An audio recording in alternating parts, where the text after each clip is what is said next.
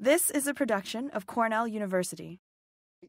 Um, you know, from my perspective, uh, it's it's really disheartening when I see on social media us attack each other and uh, you know, sort of, I want this, you want that, I value this, I value that. Uh, people value different things, and I look at social media as trying to shout through a straw.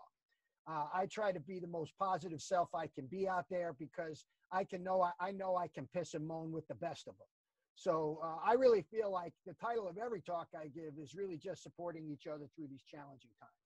And um, it really begins with safety first. I, I, don't know how else to say it. I know all of us operate in an OSHA regulated environment with regard to worker protection safety.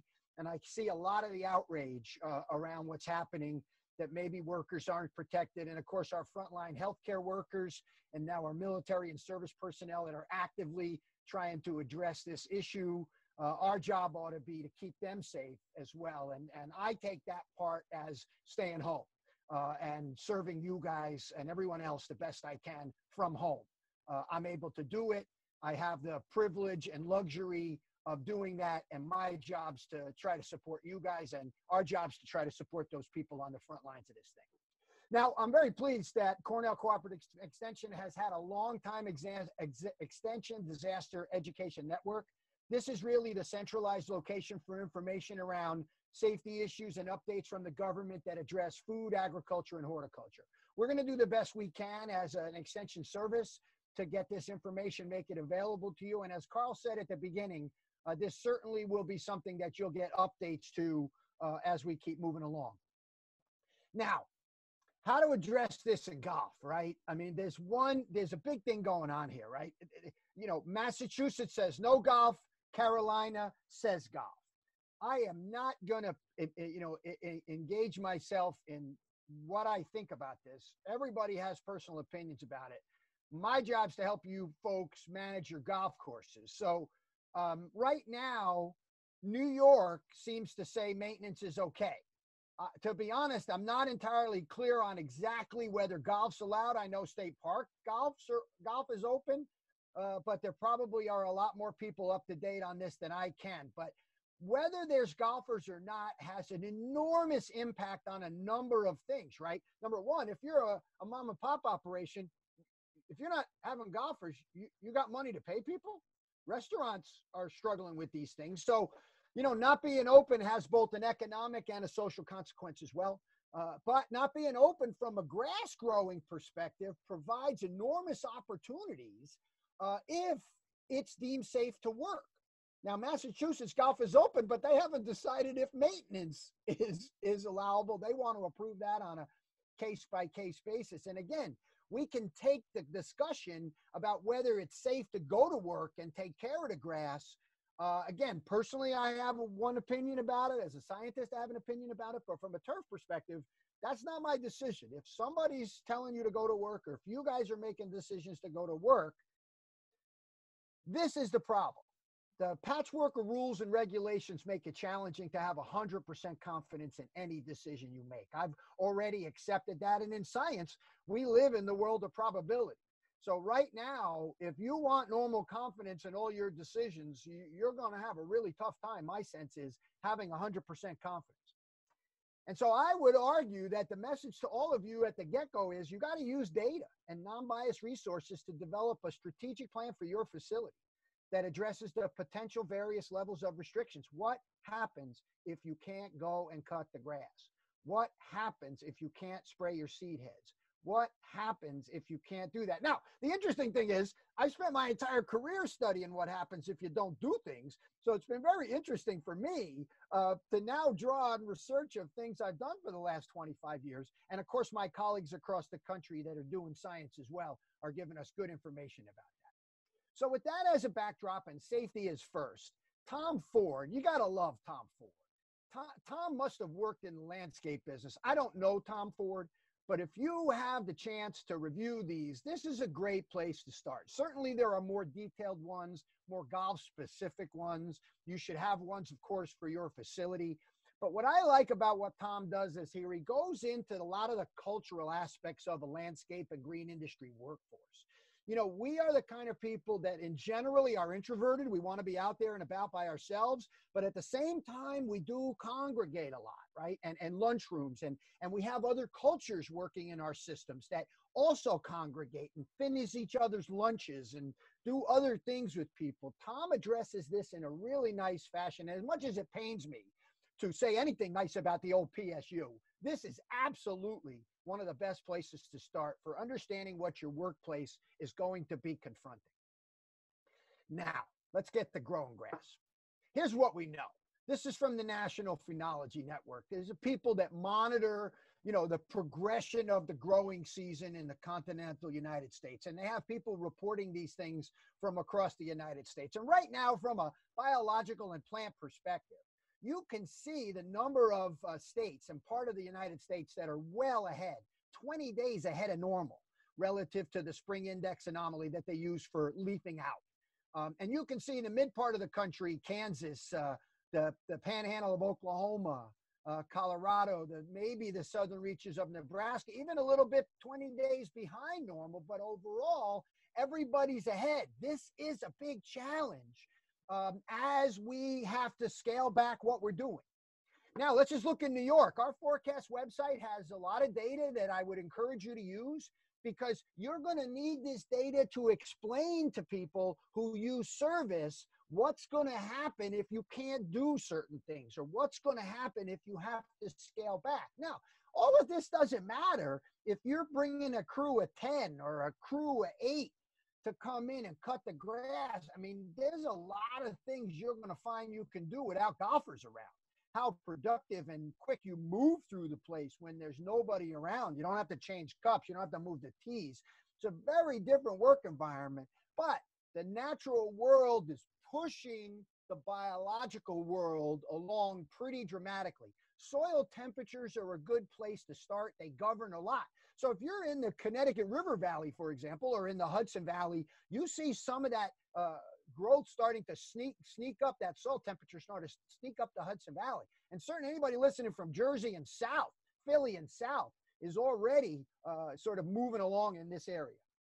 Now let's start with the big ones: mow, water, uh, fertilize, things like that.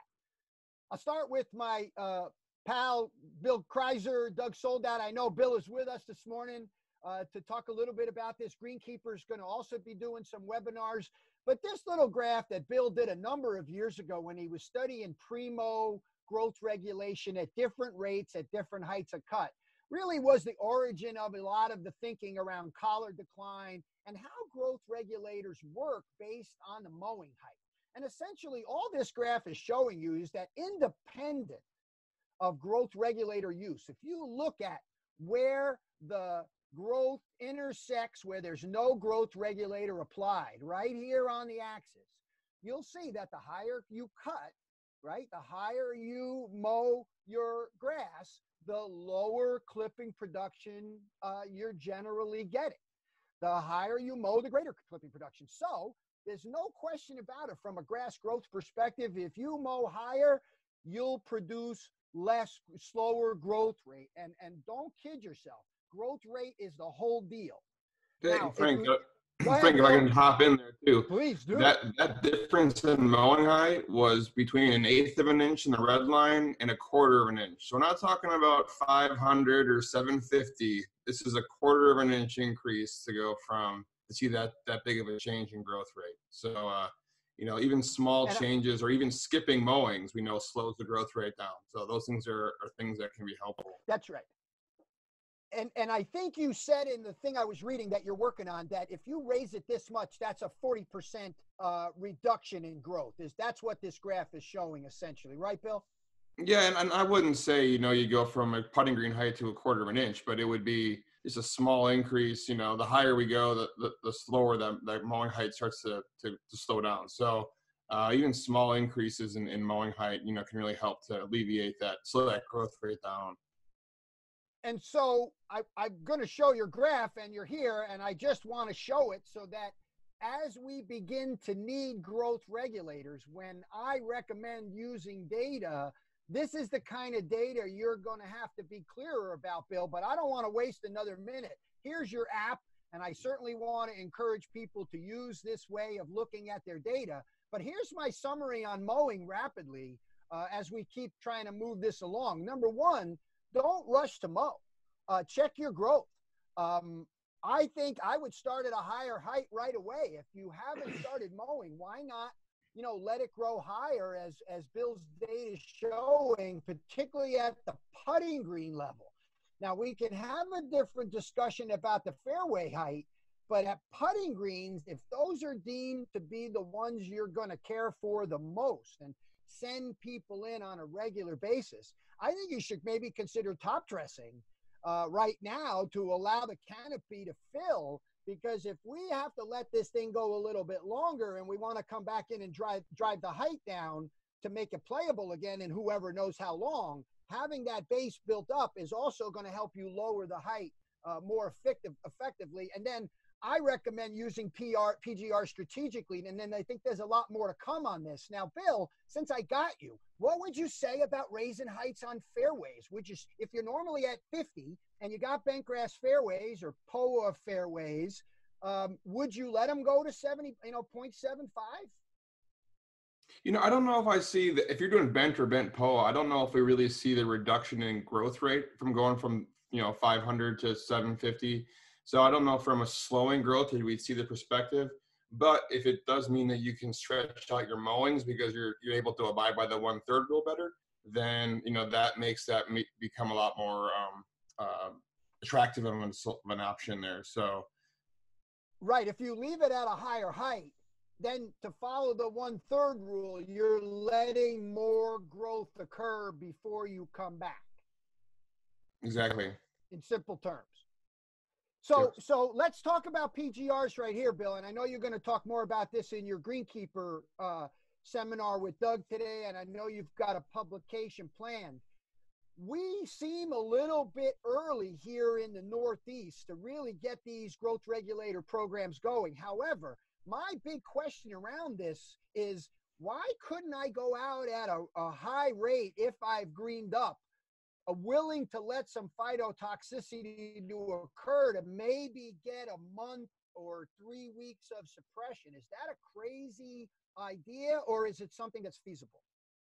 I think it's feasible, especially if there's not a lot of traffic. The golf courses are closed. Um, you know, we've we've been able to do a significant amount of phytotoxicity uh, in our research on purpose, and we've been yet to actually kill, uh, you know, the bent grass. Maybe the POA wouldn't be able to like it if we did it really aggressively with some of the PGRs. And I'm not even going to say it's a trim it, cutless, for primo thing. It's all about how much suppression you're getting. So the trimmit just gives you about double the amount of suppression at the labeled rate that Primo does. And so one of the reasons that you get more risk of phyto is you just get more growth suppression with it. So that and seems so, like a good thing at this time, Bill. Yes. Yeah, exactly. And so, you know, it comes back to we need growth to handle and recover from traffic and wear. And if we don't have much traffic or wear and we can tolerate a little bit of discoloration, then fine, um, and, and, and, slow those growth rates down. And so, uh, doing application now, I think if the, if the foliage is not greened up, like here in Nebraska, everything just goes brown. So I don't know how much, say, primo or new may got may not even get into the plant with all that brown foliage there. So maybe you need to look at a cutless or a trimmit uh, to try to get some root uptake to, to, really get some benefits out of those products. Um, so if people are doing proxy with their Primo apps right now for seed heads, usually I'd say don't put the uh, PGR in on the first app until the growth rate starts to go to normal. But maybe that's not the right decision in this scenario because we actually don't want that growth rate. We do want it to be slowed down. And so going out with that application might help. And when it comes to those repeat applications, let's say proxy, I know um, some of the guys at Bayer now are t- saying to also apply on the 200 growing degree day window that we use for Primo. So instead of just going every two weeks, look at your growing degree days and then make even those second and third proxy applications based on the same growth rate in uh, PGRs that you would be doing for uh, for for your your Primo. So what about? Um, I mean, in, in my mind, I lost my train of thought. Ah, so so um, so so let let me let me I I I, I lost my train of thought, Bill. He was so good. I was so engaged. I, I totally lost my train of thought there. I guess I'm wondering. Um, are you saying honestly that if I put a pretty high rate of trimmit on my bent, bent POA fairways because I don't think I'm going to be able to mow them for a while, they might look nasty, but they're going to be fine uh, over time? Yeah, I mean, it's. I would say that we've we've sprayed it a lot. Um, I'm not too worried about it. The POA is going to be pretty healthy if it is if it survived and is ready to grow. Anyways, uh, it's it's a good time of year for it. Um, you know, the POA, I'm more worried about the, the trimmit really hurting POA when it's warm, when it can't make those sterols that are important for heat tolerance. Right. And so if we're in the spring, I'm not as concerned. And when it comes to a growing degree day approach, on a bent or a bent POA fairway, the interval for Trimmit is like 450 to 600 growing degree days. That's like a six, six or seven week suppression window. Uh, and so you can try to get more suppression out of that. So, so let me let me ask you about uh, starting. Let me ask you about yeah. starting. When to start? Normally, I would start when the grass would resume normal, a kind of normal growth rate that I would consider healthy. Um, if I'm looking at this now, when you're starting to see that growth start to push out of the crown, that's probably when I would start the application. I don't know if I'd waste time applying to grass that's if you're still really cold and your soils are still in the 40s and you're not getting any real growth yet, I don't think I would go just yet. Uh, unless there's going to be potential that you can't be on your golf course because it's closed, then you would maybe go make that application. And if the soils are cold and we don't get like inches of rain, that Trimmit should hang out in the soil and uh, and should uh, you know so, sit there. So, and once so, the plant starts to transpire, take it up. That's right. So last question uh, before I move to the next thing what about the other things we apply that have regulating properties? A lot of guys want to get their pre's out. A lot of guys are thinking about summer patch uh, suppression or DM early season DMIs. I'm going to get to that. But since we're talking about growth regulation, I'm wondering about the other things that we use and that sort of stacking effect you sometimes talk about that overall when we have traffic might be a bad thing but now might be a good thing. Again, do I have to worry about overdoing it and killing? Yes, I mean Doug Soldat looks like he's on now too, and he oh, just good. said he's done recently saw a 10x rate of, of Trimmit with no real ill effects. Um, you know, he's not worried about overdose and absence of traffic, and I would agree there too. Um, and so when it comes to that stacking effect, um, it's actually something that we have in Greenkeeper now. I've just built this new model that starts adding all of those products together. So we have DMIs, we have all the, the PGRs. And then instead of looking at products individually, like product Primo's giving me 20%, Trimmit's giving me 30%, we start adding those suppression points together. So the amount of total suppression is 50. And so um, what we're trying to do is start adding everything together. We're getting 5% from a DMI, 40% here. And it does obviously tail off. You can't have 120% suppression, but the model accounts for that. Uh, and so those are one of the things that we can actually do. Say we're trying to get more suppression on our greens, and we know Trimmit at the high rate, which I think is uh, 16 ounces per acre, and primo at the label rate, which is five ounces per acre. If I'm getting you know 15 to 20 percent suppression out of my primo, and I'm getting uh, 40 percent suppression out of the Trimmit, there I'm getting that you know 50, 60 percent suppression in total. And when it comes to the amount of suppression, again, that's relative. So if your growth rate is already very slow, then it's going to be really, really slow. But if you start getting into or seeing that spring surge of growth, you might need 60, 70, 80% suppression to really keep your clipping yields where, where they want to be. Yeah. And go along with that, this isn't some of our research. You know, we've been pushing some of our research greens with, you know, really high rates of nitrogen fertilizer. And then to try to suppress the growth rate back down to a normal level, we would go put down 10x rates of primo and have zero phytotoxicity. Because at the end of the day, the amount of grass in our bucket is normal than if you're using low rates of fertilizer and no PGR. And so the risk of phyto seems to be much more highly uh, correlated to what the absolute amount of clippings in the bucket is and not what the rate is. Doug, uh, I see you've joined there. Carl, can we give uh, Doug a camera and see if he wants to add anything before we move on here? I can let him use the camera, but he, will Yeah, you go. Good morning, Doug. Good morning. Anything no, nothing. Add? Nothing on PGRs. I was just starting to think about nitrogen, and you know, this is an opportunity. Uh, well, I guess I should say a little bit about PGRs. I think I hear a lot of people use PGRs on fairways, and I say, well, how does it reduce your mowing? And I say, I don't know. We, we still, still mow three days a week. So this is an opportunity to to see how things work. You know, try something new. Um, reduce the reduce the maintenance a bit. I, I've I've just been thinking about nitrogen management a bit here. I'm not sure if we're gonna head down that road soon. Let's do it. We're here now. We're here now, Doug, because my thoughts were, again, right now, why would you apply nitrogen? Here's my question that I'm I'm gotta believe people have to be asking themselves. If you don't have golfers, why on earth would you be applying nitrogen uh, right now? Is is my first question. Maybe you're worried about diseases and other sorts of things. I, I you're going to get a lot of growth stimulation from even applying it. Why apply it? Exactly. And, and this is th- something that I've been thinking about the last couple of years is you apply nitrogen to recover from damage and to hit a growth rate. And right now we're trying to reduce the growth rate. There is no reason if you're if you don't have golfers out there, there's no reason to think about putting nitrogen down. And I know it's something we do almost every week. It becomes a reflex, right? And so that's what I want people to think about right now is get rid of those reflexes. This is a completely different time, and nitrogen should be the last thing you should be thinking about right now. It's going to get it from the soil. You're going to, I, the soil's got plenty of nitrogen in it to keep the grass alive, right? You don't need to repair any any traffic damage. And, and I guess the only thing I'll add, and Carl, uh, you brought this up, is is raising the mowing height on putting greens. Just consider this for a second. If you all of a sudden started to, you know, were able to raise them up to a quarter inch, imagine that. I mean, I wouldn't imagine Oakmont's going to do it, but other places that might say try to, you know, make their way through this might try to do that just think about the pin positions you can put on sloped areas. How much of the surfaces we've lost over the years in the last 40, 50 years because of the way we've been mowing. So for those people that stay open and stay out there, I would still encourage you to lower your mowing height and maybe add some difference in interest, as Doug's saying. Just change your perspective a little bit on things. You have to look at things a little bit differently, and certainly mowing and growth is a place to start. So I want to try to keep as best I can, and I know there's tons of questions. So guys, um, I'm going to get to weeds now, and I'm going to get through a lot of this stuff pretty quick, primarily because I think we're a little bit early.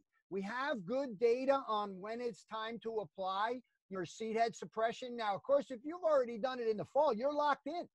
And I would reiterate what Doug said. If you're going to go out, I'm sorry, what Bill said. If you're going out with your proxy, normally we wouldn't tell you to put the primo in there. But at this time, when you're really trying to shut down growth and you don't have a lot of traffic, then now would be the time to get that higher primo in there, right, Bill? I want to make sure I got this right. If I go out my proxy in a normal way, as our recommendations are, I can increase my primo, or would you even tell me maybe put trimmit in there?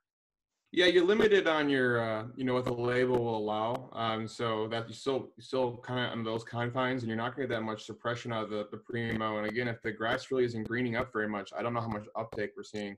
So maybe using trimmit. And if you're worried about that, remember that a four ounce rate of trimmit will give you about the same amount of suppression as a five ounce rate of primo. But four ounce rate of trimmit seems low to everybody. You always talk about that's a low, six is a low rate. Well, imagine that's a six or seven ounce rate of, of primo. And so if you're using four ounces of trimmit, you're still going to get about 20% suppression out of it, just like you would have gotten out of that, that primo. So for that first app, if you're a little leery, um, then that's fine. If you're going to make repeated applications of proxy, though, you could do the primo still. And then on your second app, go proxy trimmit um, to, to minimize that. And from a phyto perspective, when we've mixed the DMIs and the class Bs like trimmit with um, some of the green pigmented products, we've really minimized that discoloration. So if you really are concerned about that phyto, um, when you make those apps, if you include, like we were testing it with, uh, with the Bayer StressGard pigment, and we were really able to show that the, the phytotoxicity was substantially less, statistically less, um, by just including those pigments with those trimmit applications. Copper has a known safening effect uh, on some phytotoxic responses. It is the reason the pigment is in Civitas, is because that phytotoxic response from the oil is minimized uh, when you're using copper. It's not masking it, right, Bill? It's it's preventing it. Yeah, it definitely prevents it, and uh, and so we've seen that. And, and, when we're looking at density and things, to actually see if it's just a green color effect or if it's a safening, it really did seem like even with the Class B PGRs that you know the density was still good and everything seemed to be you know healthy. So if you're worried about phyto, including some of those those copper-based pigments can really help uh, to minimize that risk. Perfect. Okay. Um, what about crabgrass? Um, again, in the Northeast, uh, it's certainly by the GDD tracker. Hopefully, you're using this tool as one of your data tools. Uh, your GDD tracker is telling you in the metropolitan New York area, it looks uh, ideal for crabgrass control as you move beyond. You know, and I wonder how many landscapers are out there doing this. It's obviously time. It feels a little early still, as you can see in upstate New York with the yellow and the cream colored, a lot more time to the further northeast. But crabgrass germination still seems a little ways away to me um, based on the soil temperature data that we still see in the 40s when I know I got to be almost in the 60s to get pretty good crabgrass germination. So there is some indication to get this down. And again, if you're not going to be able to get out there in a while and this is something you want to do, go ahead and do it. I'm a little bit with Doug. There's a part of me that I would be curious to see what would happen if I didn't do this. Um, but I think for those of you trying to support uh, a business and clients, um, this might still be the safe way to go. I think we've got time, and then you've got to decide what weeds will be an issue. Right now, you're going to see winter annual weeds everywhere. And if they start flowering, it doesn't make sense to go out and spray them. I think our perspective on a lot of things is going to change dramatically if, if this lockdown continues and, and if it gets more severe. I think we're still easy early for water. As Doug said in nitrogen management, um, you know, if the water's not moving through the plant, as you can see here, this is this is the excess water that we have throughout much of the northeastern United States. We have slight deficits in the most northern places, but in general, right now, with the sun angle and the cloudy weather and the rain we've been having, I don't think too many people are thinking about water. And I would even caution people don't be in a rush to get it fired up. What happens if we get cold again? and you've got water in those pipes, uh, and we get down into the 20s, especially in upstate New York. So I wouldn't be in a rush uh, necessarily to get this going. And again, for disease, I asked Bill earlier about the DMI drenches. A lot of guys are going to be thinking about their early summer patch sprays, uh, particularly on annual bluegrass putting greens. Looking at the GDD tracker was still early for those dollar spot applications. And if you think about the the summer patch models, the 55 and 65 degree triggers, we've got a little ways uh, until that happens. Now, we are expected to be normal temperature moving forward, so we may have a couple of weeks yet. So, again, keep this in mind if you're talking to people about what's essential. You have a little time, but if you have to prepare for not being able to get in, this could get worse. Ben McGraw made a pretty strong statement yesterday about ABWs that I heard pretty loud and clear. And I'm sure you're going to hear more from him and a lot of other folks while we're all locked down.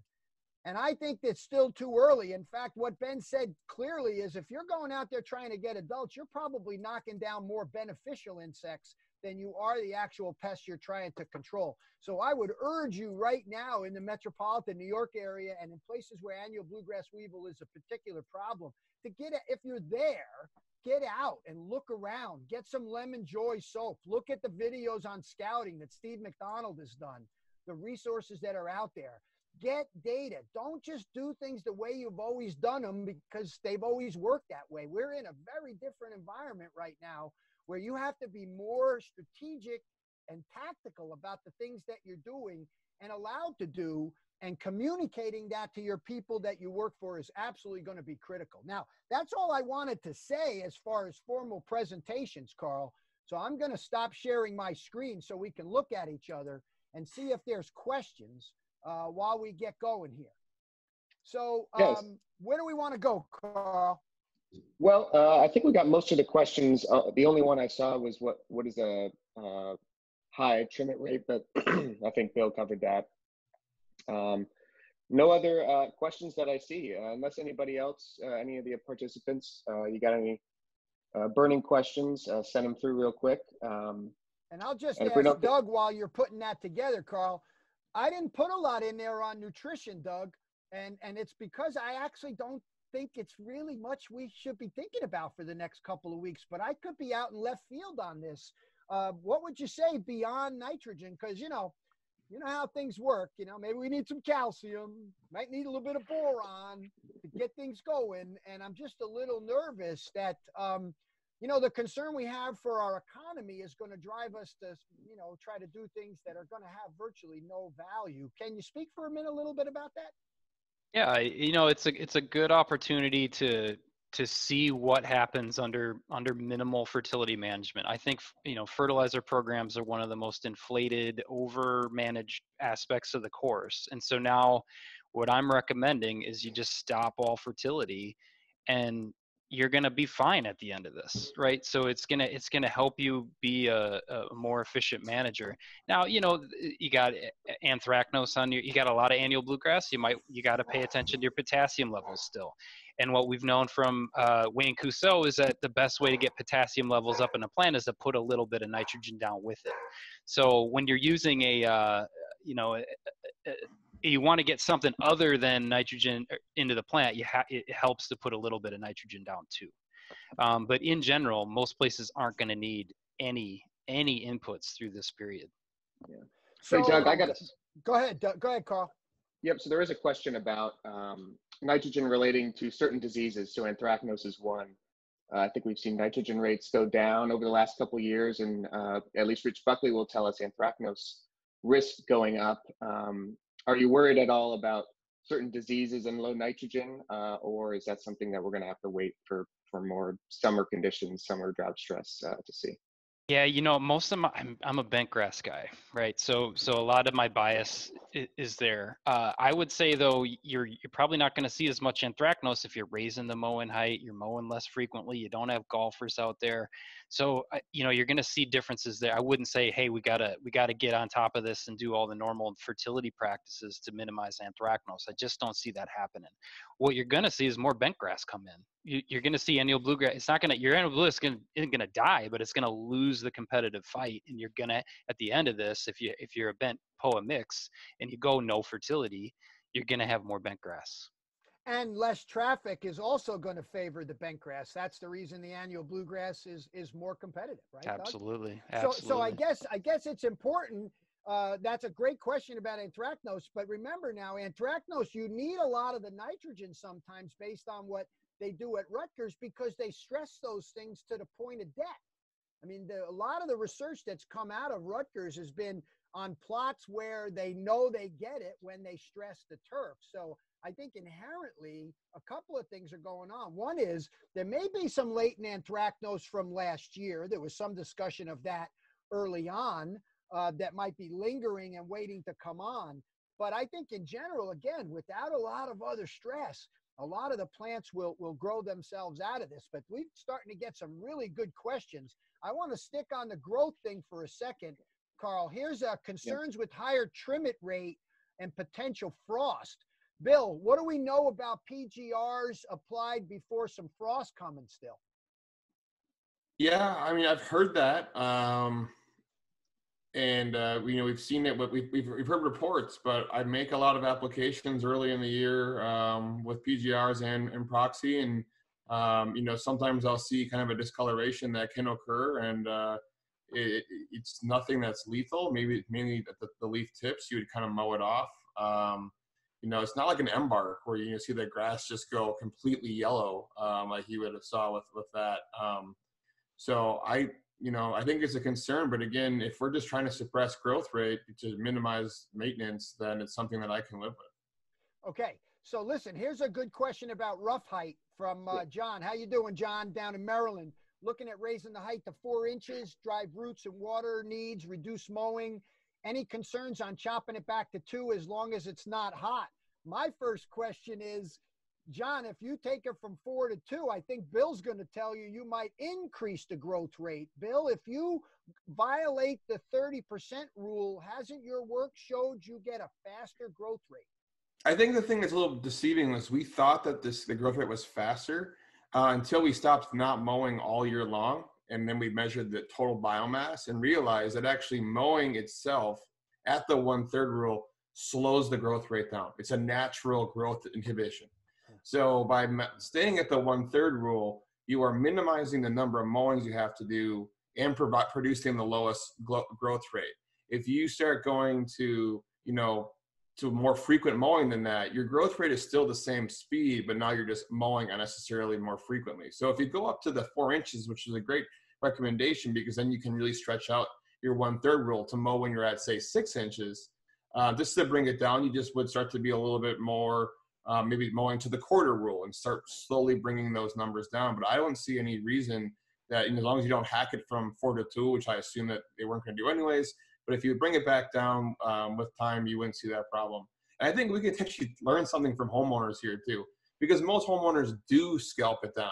And if you do it occasionally, it, especially if it's only been high for you know a couple weeks, you don't see that scalping. Once that grass has really become accustomed to being at four inches, and then you don't get as much photosynthetic leaf tissue lower that when you remove it to two, it looks yellow. So if it is a really short-term thing, and you you may not even see that much of a detriment um, from just like a one-time, you know, six-week, eight-week thing, then if we let it do that all year long and then we scalp it down. So that's absolutely right. I mean, these are things we've never really thought of. And here's Craig Cochran in the uh, uh, Capital District. He's got 27 holes, maybe one guy, uh, heights of cut, minimum spray programs. And he asks a question about aerification. And I'll just take this time to say, I'm, I'm, I, I, I don't really think, I, why would you aerify? I mean, I'm not sure why. I mean, Doug, am I crazy? You're a soil physical property guy. We're not going to get traffic. Is there a reason why you think we need to regularly aerify these surfaces or core cultivate these surfaces in the spring right now? I mean, so I think the approach is, like I said earlier, nothing should be a reflex, right?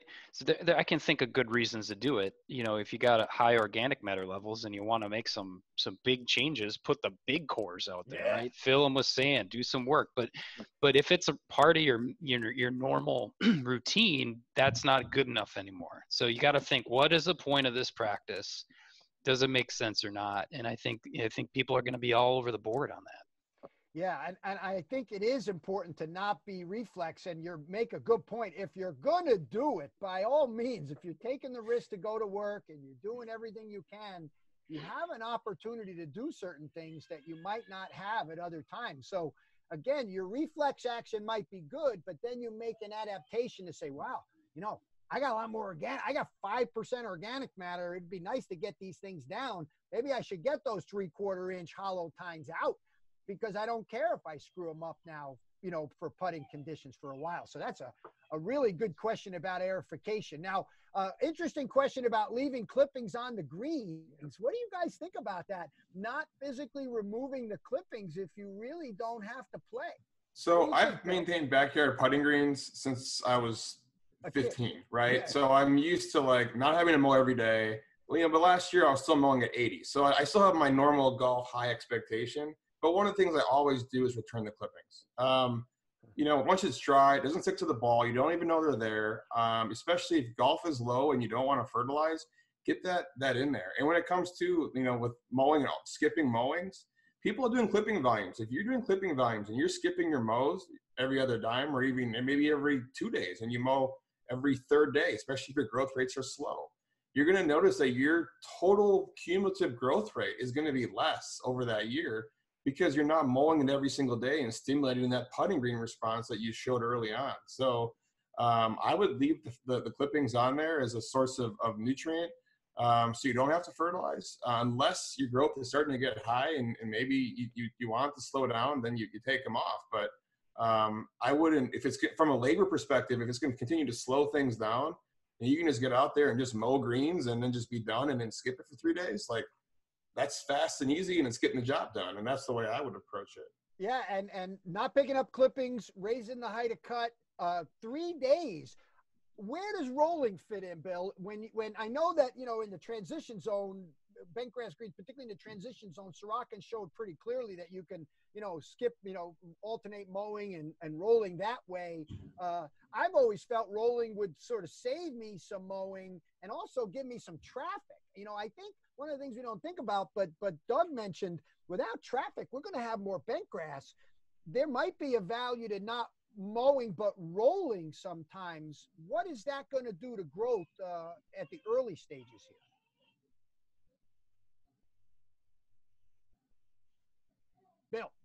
What?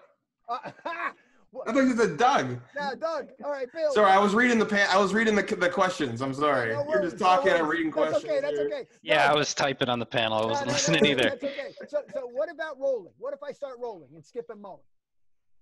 Yeah, absolutely. I mean, uh, and why why do you have to roll? Why don't you just skip a mowing? Right. And I guess I'm wondering about the value my place for putting a little traffic. There's a follow up yeah. Question here about top dressing, uh, the sand working its way into the canopy. If I raise the height of cut, am I going to have more organic matter accumulation? Yeah, that's a good thing. When you guys are talking about the involved, rolling might be involved. Uh, the the study you showed the study the collar height versus the putting green height. We talked about that earlier. Mm-hmm. So when we when we ended that study, we had big problems with those collar because it was all in a green. We had problems with those collar height plots when we tried to bring them back down to mowing height. So I'm not a huge fan. I, would say if you're at like 120, go up to 140, 150, but don't be, be bringing your greens up to collar height at this time because you're going to have organic matter issues you're going to have sponginess so uh, you know keep things reasonable do these little tweaks but don't don't do massive changes like that um, what about top dressing to let the grass grow through it, Doug? That was an early suggestion. You, you like it or not? I don't think so. Mowing greens doesn't take that long, right? So it, I just don't. I don't like that. I don't like making a massive change like that right now. I think we're going to be through this. We're going to be playing golf this season, so I would try to keep. I would try to tweak things rather than massive change. Okay, and then so, Frank, uh, to, go ahead. Go ahead, Carl. To add on to that, uh, what's the effect of growth regulators if you are um, worried about the root um, and the organic matter buildup? Um, is that going to have an effect? Uh, how is that going to affect root growth? I guess is, is the question we're looking at. Uh, from a PGI perspective, if you do have very severe phytotoxicity, uh, and I mean that grass is purple, you will see a root prune. And I've seen it with every single PGR. I've seen it with Primo and Trimmit and Cutless, or not Cutless. Primo, I haven't really tested Cutless that much, uh, but a new Primo and Trimmit will all do it. Um, and it's just again, you have way too much suppression, and so you don't need to have that much suppression. When you're starting to see some phyto, that usually means like that grass is, you know, about as slow as you want it to be growing.